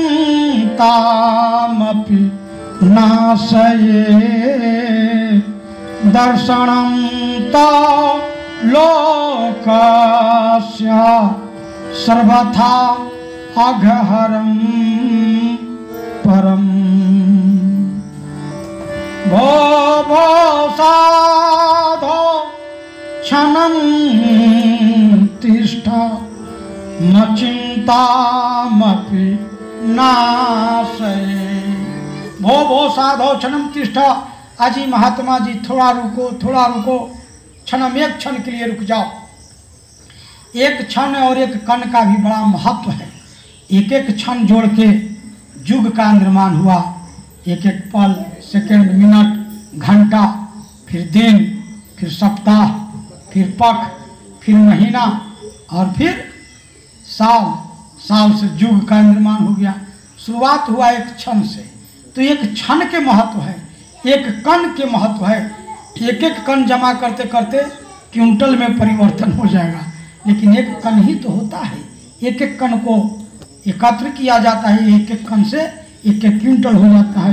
तो कहा, वो वो साधो क्षण तिष्ठा। और साधुओं का तो एक क्षण रुक जाना ही कल्याणकारी है। साधु एक क्षण के लिए रुक जाए तो कल्याण हो गया। साधु आ गए। साधु गाँव में हैं साधु के साथ बैठे हैं तो बहुत बड़ी बात है। साधु मिल गया तो ये सौभाग्य है। गाँव में रुक गए तो हो भाग है। कुछ ज्ञान देने लग गए तो ये महाभाग है। उसके बाद भी न परिवर्तन हो तो ये दुर्भाग्य है? कहा क्षणम तिष्ठ, एक क्षण के लिए रुक जाइए। आप एक क्षण के लिए रुक गए थे तो क्याधु पुत्र, प्रहलाद का उद्धार हो गया था। आप एक क्षण के लिए रुक गए थे तो ध्रुव का कल्याण हो गया था। महाराज, वैसे ही मेरे दोनों बेटों के लिए आप एक क्षण रुक जाओ।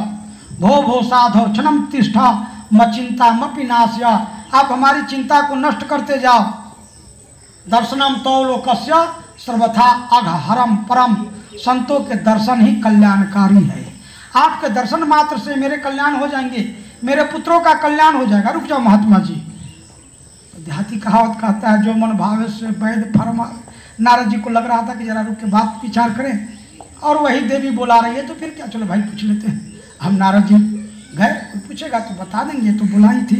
इसीलिए हम गए हैं। और नारद जी जा कर के कहते हैं कावित्वाम कामिमोच्य नार्य पदलोचना बद देवी स विस्तारम स्वस्य दुखस्य कारणम हे कमल नयनी कमल नेत्र बुलाने का कारण क्या है? बड़ा तो दुखी हो। बददेवी सविस्तारम विस्तार पूर्वक कहो। स्वस्य दुखस्य कारणम अपने दुख का कारण बोलो। विस्तार पूर्वक क्या दुख है? तुम कौन है? और ये सब नारियाँ कौन है? ये दोनों कौन है? ये दोनों युवक कौन है? आप बताओ। तो बोली अहम भक्ति रीति ख्याता में तनवो मतो। हमारे नाम भक्ति है।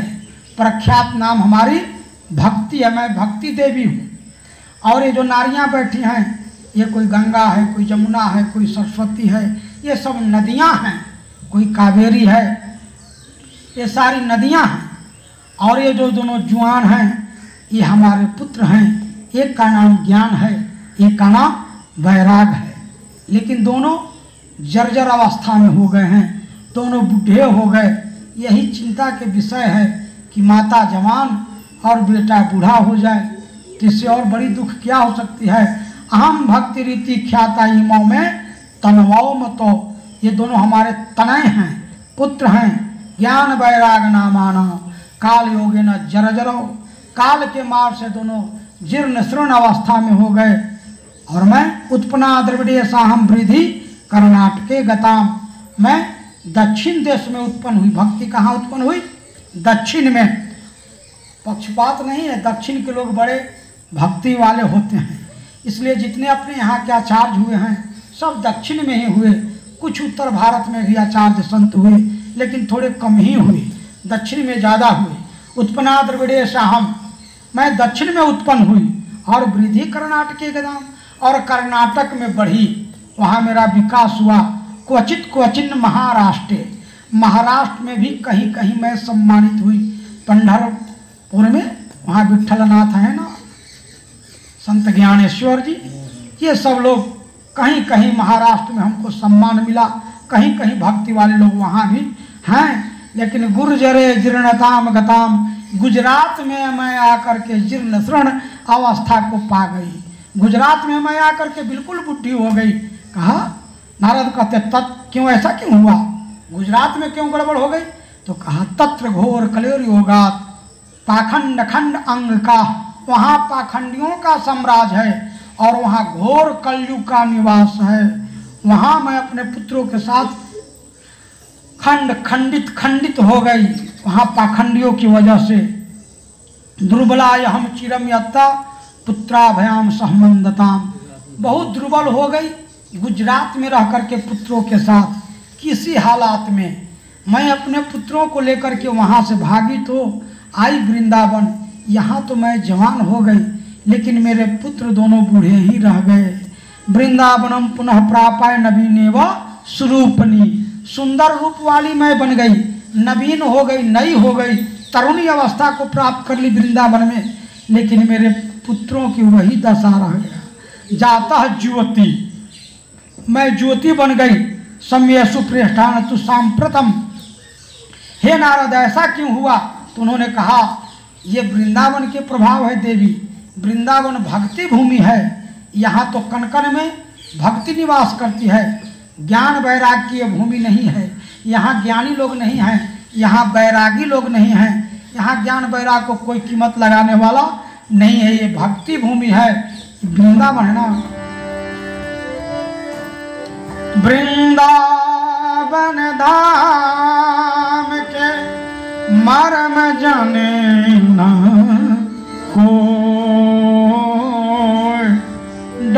डाल डाल फल पात में राधे राधे हो।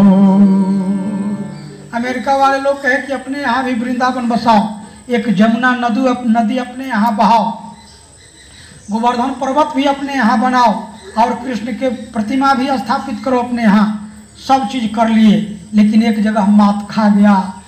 वृंदावन के जो कदम का पेड़ है उस पर अपने ही राधे राधे लिखा रहता है।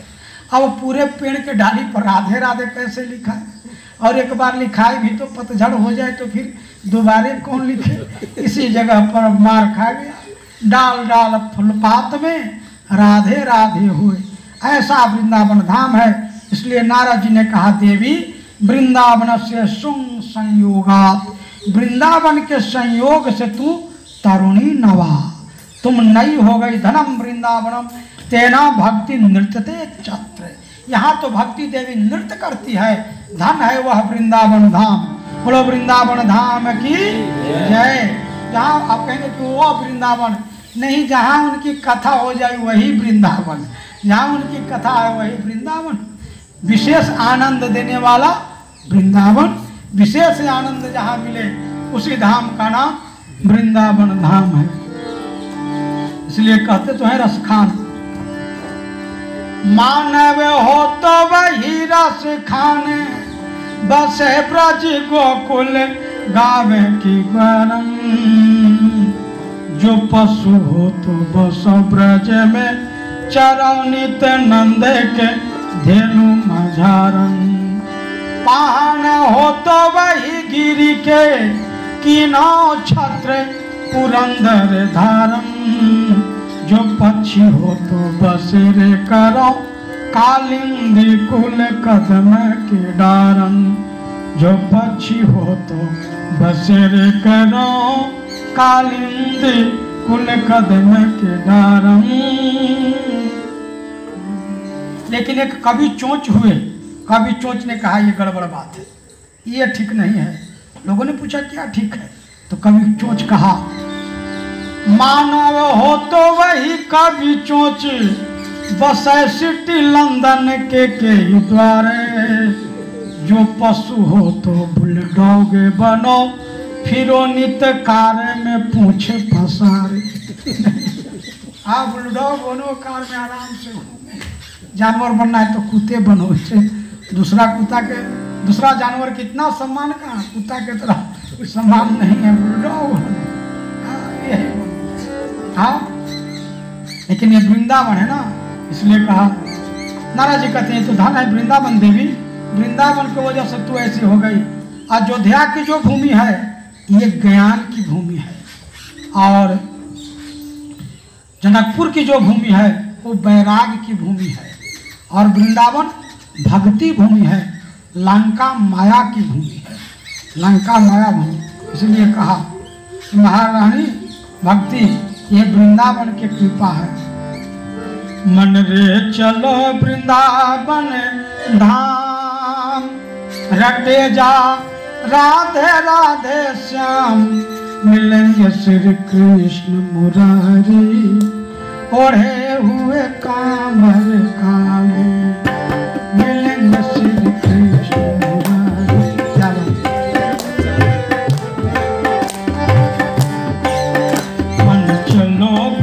वृंदावन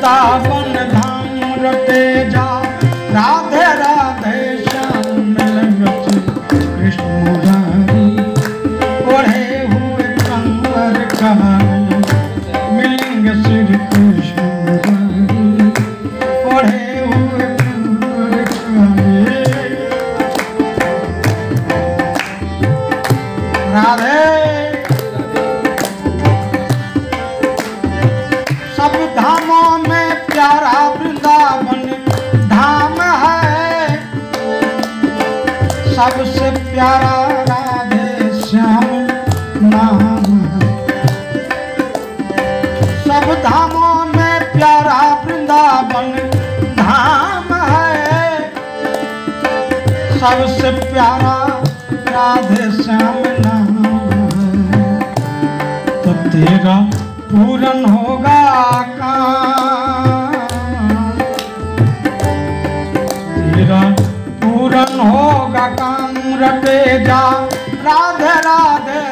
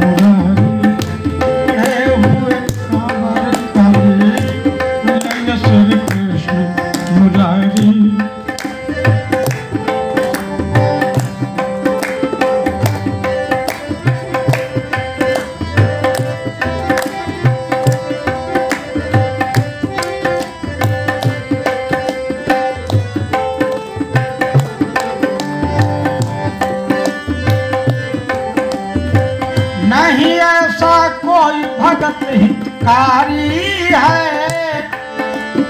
सबके प्यारे मेरे अवध नहीं ऐसा कोई भगत हितकारी है। सबको प्रिय माँ बिहारी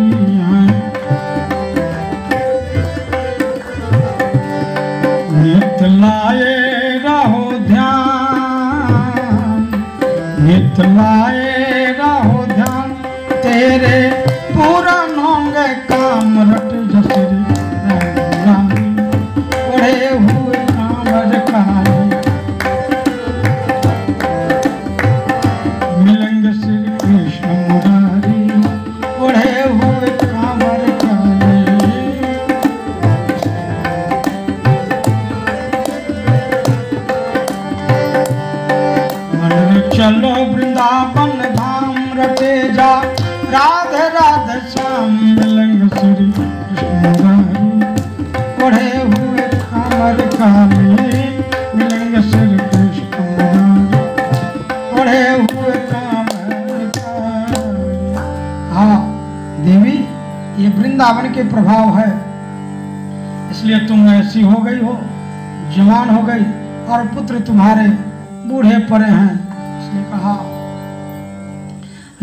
कहते हैं आज मैं धन्य हो गया, आपके दर्शन हो गए।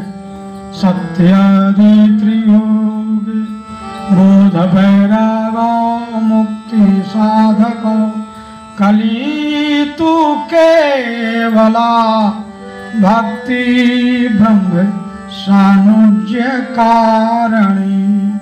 सत्यादि त्रियोगी, सतयुग, त्रेता और द्वापर इन तीनों युगों में केवल और केवल भक्ति के द्वारा ही भगवान के निकटतम हुआ जा सकता था। और लोग होते थे, लेकिन नारद जी कहते हैं, कली तू केवला भक्ति ब्रह्म सानुज्य कारण। कलयुग में तो केवल भक्ति देवी के ही सहारा लेनी होगी। कलयुग में केवल और केवल भक्ति करके और ब्रह्म के निकटतम हुआ जा सकता है। उनके हृदयस्थ, उनके अनुयायी या उनके बहुत प्रेमी, बहुत बड़े नजदीकी होने का एक ही मार्ग है, केवल और केवल भक्ति। इससे अधिक क्या चाहिए? हे देवी, लेकिन तुम नाराज़ सी लग रही हो। तो मैं ये प्रण करता हूँ कि जब तक मैं तुम्हें घर घर में स्थापित न कर दूँ, तब तक मैं नारद नहीं कहलाऊँगा। जैसा राम जी प्रण किए थे दंड कारण वन में, कि जब तक निश्चरहीन करो मही, भुज उठाई प्रण कीन, सकल मुनिन के आश्रम जाई जाई सुख दीन।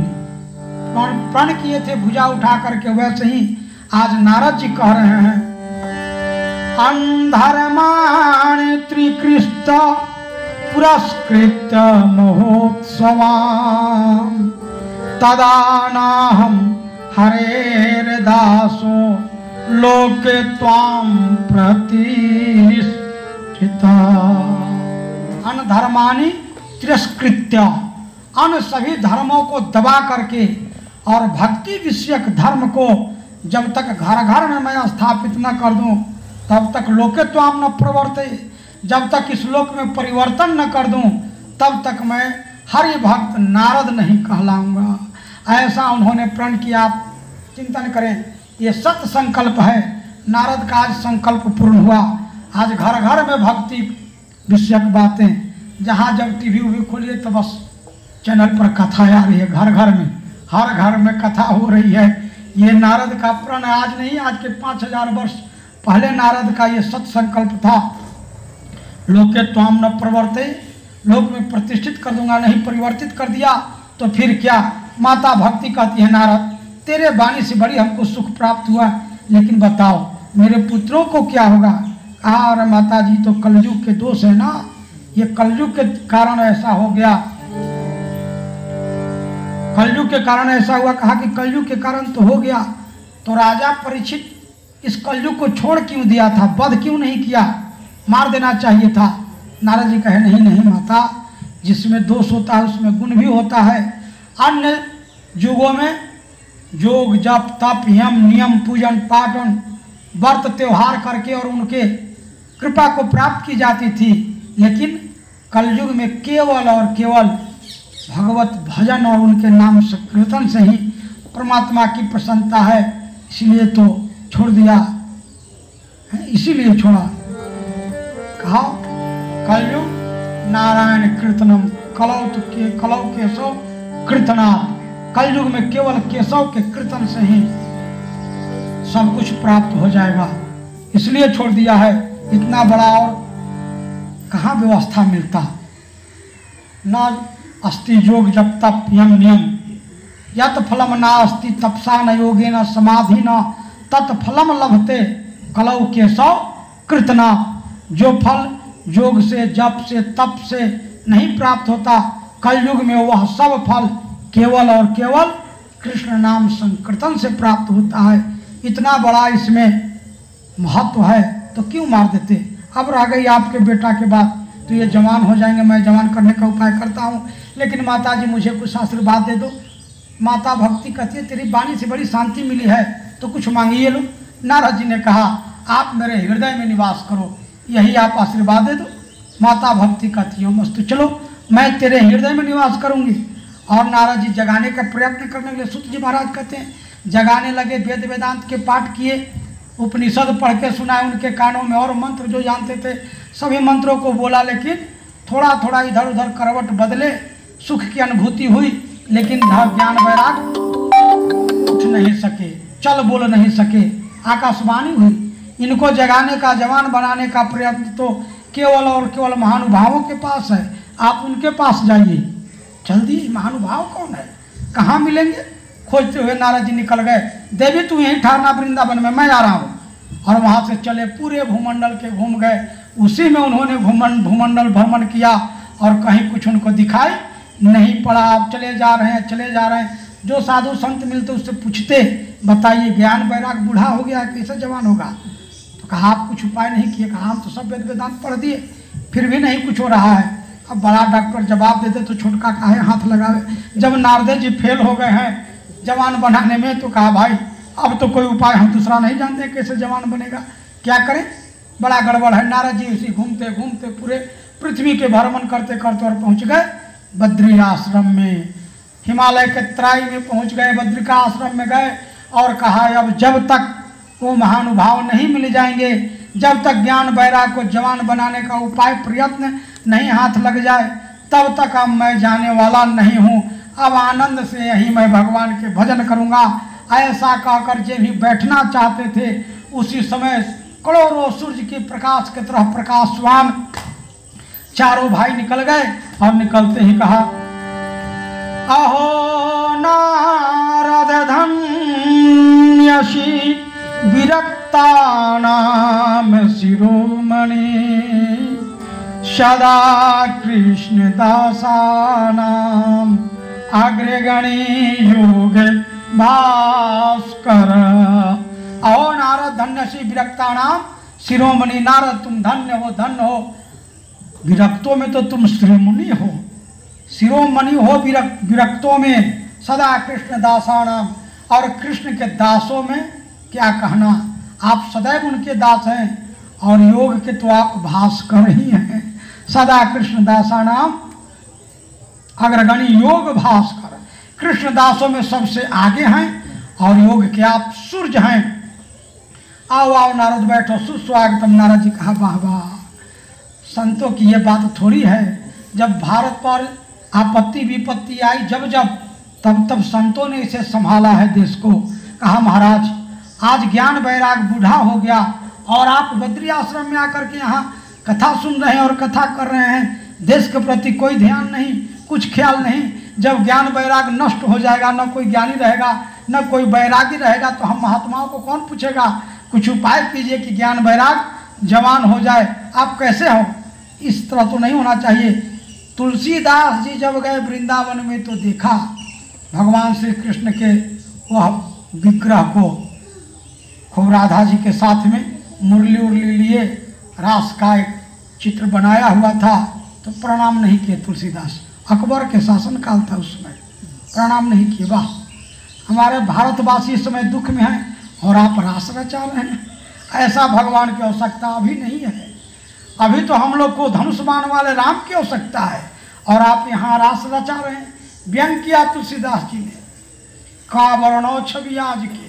भले बने हो, नाथ बड़ा सुंदर लग रहे हो, लेकिन तुलसी मस्तक तब नवे जब धनुष बाण हो हाथ, जब हाथ में धनुष बाण होगा, तब तुलसी प्रणाम करेगा। भारतवासी दुख में है और आप रास रचा रहे हैं। हमको अच्छा नहीं लग रहा है।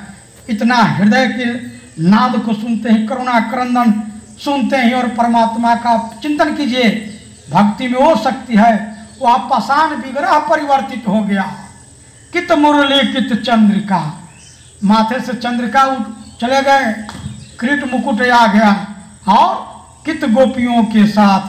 गोपियाँ भी वहाँ से हट गई। अपने जन के कारण कृष्ण भय रघुनाथ। मुरली के जगह में तुरंत धनुष बाण आ गया। आज तक कोई कहने नहीं आया। तो हम कैसे परिवर्तित हो जाएँ? आज तुम कहने आए हो तो जाओ। आज़ाद हिंद हो जाएगा। बोलो नारायण की इसी बात को न लिख करके रामधारी सी दिनकर हो गए राष्ट्रकवि।